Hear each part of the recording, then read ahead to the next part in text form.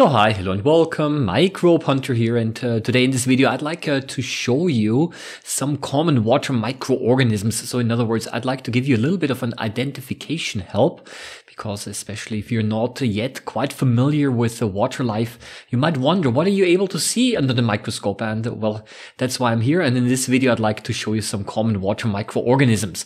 Well, and we're going to start off uh, with the first one here. This is Paramecium. It's a very common one. It's a single-celled ciliate. Um, and uh, ciliates, what they have is they have tiny little hair um, on the surface of the cell. You maybe are able to see them, how they beat and how they move. And uh, those hair are responsible for not only moving the cell around the water, but they can also be used uh, to gather food. And here we already see one of them dividing and you can see here that uh, they're still connected a little bit at the cilia. Um, that's basically at the hair. But usually, of course, you can find many other uh, water microorganisms, many other ciliates rather in, in a water sample. And for this reason, I'm going to show you a few more examples uh, today. And that's the next ciliate. That is also known as a so-called a bell animalcule, and it's also known as Vorticella. It's also a single celled. Well, here we see two of them.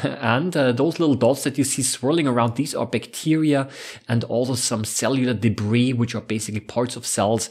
And by beating those little hair, then again, it's able to generate a water stream um, in which it's able to collect food. And here we can see it quite nicely. That's actually why it's called Vorticella because it's able to create a water vortex, a water swirl. And look at this. yeah, um, they have this remarkable ability to very quickly also retract when they they're disturbed. And if you're very lucky, you're also able to see a whole colony of them, uh, where when one of them starts to contract, uh, then this triggers the others also to quickly uh, contract uh, at the same time. Yeah, those uh, ciliates are basically single celled, but there are also water microorganisms in there that are true animals. This here is actually an animal. Um, it is not a single celled organism anymore. It's called a rotifer. And uh, rotifers, um, yeah, have a fixed number of cells and I read somewhere around a thousand cells. So these are not, uh, actually strictly speaking, they're not microbes anymore because they're made of multiple cells. And this one over here, if you look carefully, yeah, even carries along what appears uh, to be an egg. Um, they do share a similarity with the ciliates in the sense that they have also those tiny little hair, the cilia, um, yeah, in this case, uh, connected uh, to their head. And this way they're also able to generate this water stream um, to uh, catch food. And of course, as you can see, those uh, rotifers are also able to attach uh, to a surface.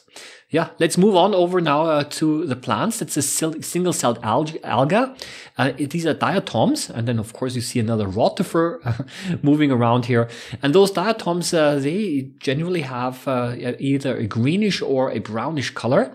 And uh, this is because uh, they are doing photosynthesis, so they're catching sunlight, and they are therefore um, able to generate their own food. And those diatoms, they have a nice, beautiful shell um, usually made of silica, which is uh, glass, uh, and uh, this uh, is uh, also a very easy way how you're able to identify them. Yeah, and here you see also a few of them inside um, a water droplet. As a matter of fact, uh, those diatoms are able to create a very large number, a very large amount of oxygen. Yeah, but not all algae are diatoms. here, these are um, also single-celled algae that are not diatoms. And yeah, here we also see them that they're quite green. yeah, green, of course is the color um, of chlorophyll, which is needed uh, to catch uh, sunlight. And uh, just like the diatoms, uh, they are um, also some some of them at least are able to also move around and there are many different shapes here and these are just uh, yeah simply examples of what you're able to find here. But there are a couple of uh, those uh, green algae that are quite uh, beautiful looking like this one over here. Yeah and uh, they are uh, in small tiny colonies as well and if you look at a water sample um, and then you're able sometimes to see quite a few different shapes here yeah, again, back to an animal, you see that uh, the sequence and the order of uh, those uh, video clips is not uh, uh, quite uh, organized here, but this here is um, a so-called an oligochaete worm. And these are worms that have tiny little bristles here on the, on the outside, pointing outside. And those tiny little hair, of course, help the worm to move. Um, well, are they actually microscopic? You can see them without any problems, also without a microscope microscope. But with a microscope, you're actually able to see much uh, deeper um, into their body, and therefore you're able to see also the organs here. And those little dots that you see, well, these are bacteria.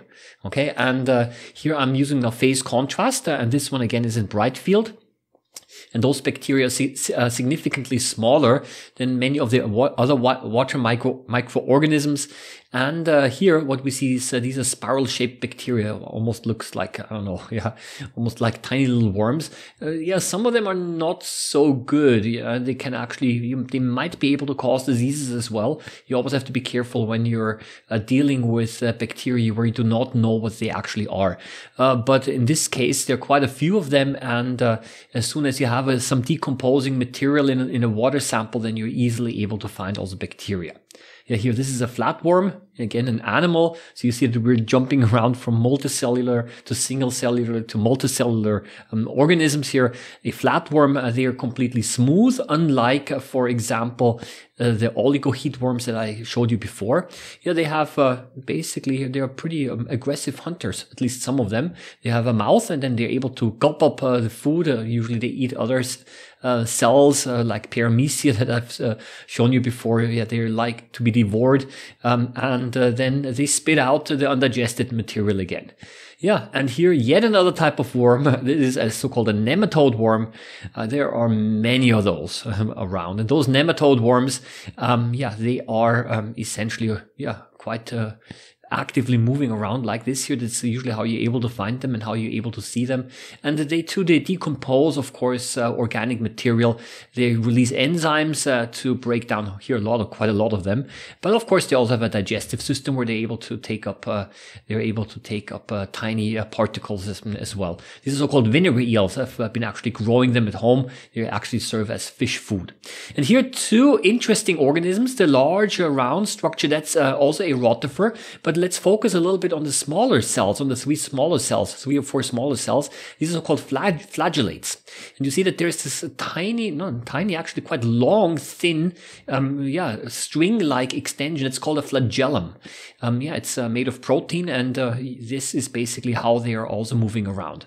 We move on very quickly. Amoeba, again, a different uh, uh protist here in time lapse here, um, and uh, those amoeba are also single-celled, and what they do is is uh, they are able to change their shape, and this is how they are able to hunt down um, smaller organisms as a source of food. And what I like here, especially, is that you're able to look into the cell. You can see the things that it has eaten, and there are also a whole bunch of diatoms visible uh, that the yeah amoeba has eaten. Filamentous algae back uh, to uh, those organisms that are related to the plants here.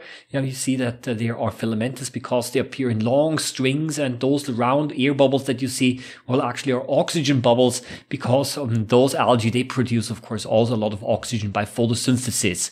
Yeah, and those algae are quite nice, uh, especially if you look into them, because sometimes you can see there is this spiral shaped, uh, yeah, chloroplast, and that's called Spirogyra, and uh, this is a very common water algae as well. But this not not not this one, of course. it's uh, a water flea, uh, crustaceans. Now they're related to the crabs. I think they look kind of cute. And look at this. I, I like this one here. crawling along up and down the algae here. And uh, those water crustaceans um, are also tiny animals, obviously. Um, they lay eggs, uh, they reproduce this way. And what do they feed on? Well, again, they feed on smaller bacteria um, and uh, debris, which are particles. Yeah, and they together with uh, many other animals, are making sure that uh, biological material is uh, being decomposed uh, in a water sample. And this actually completes already the video here. Um, of course, there are many more things uh, that you're able to find, but I hope uh, that with this video it helped you find, at least identify some of the most important or most common water microorganisms here. And if you want to see a little bit more um, about some water microorganisms, then I would like to recommend that you watch uh, this video here. I wish you all the best, a happy microbe hunting as always, and uh, see you around next time. Bye bye.